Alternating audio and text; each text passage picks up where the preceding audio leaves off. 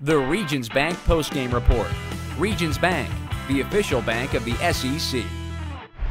I'm with Russell Hansbrough after the Tigers' 34-27 win over Texas A&M. Russell, what does tonight's win mean for you, you know, since you're from Texas?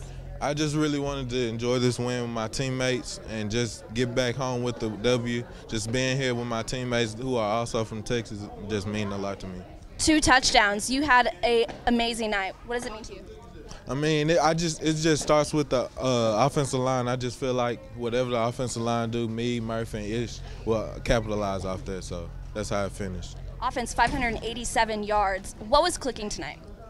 Uh, everything was clicking. We was just making sure we get the plays down. We still making errors and stuff, but we was executing and making sure we got all the blocks and the pass routes and things like that. So.